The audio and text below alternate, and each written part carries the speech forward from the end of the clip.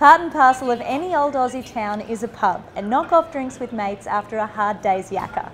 This culture is alive and well in the Western Downs, where pubs across Miles, Chinchilla and Wandoan are full seven days a week. A staggering amount of beer, wine and spirits is being served and sunk at places like the Club Hotel in Chinchilla, where even the end of the day at the beginning of the week is cause enough for a celebratory brew. Out here, it's just constant, Monday to Sunday. You're on the pour many a busy night. How many beers do you think you pull? They're big numbers, put it that way. We're probably on par with a lot of the inner city Brisbane hotels, so for a country country pub, it's, it's not bad.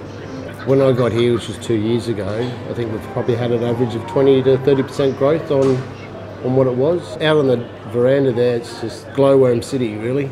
From the outside, you probably look at the pub and go, oh, yeah, just a normal Queenslander pub, but as you can see on the inside, it's a bit different.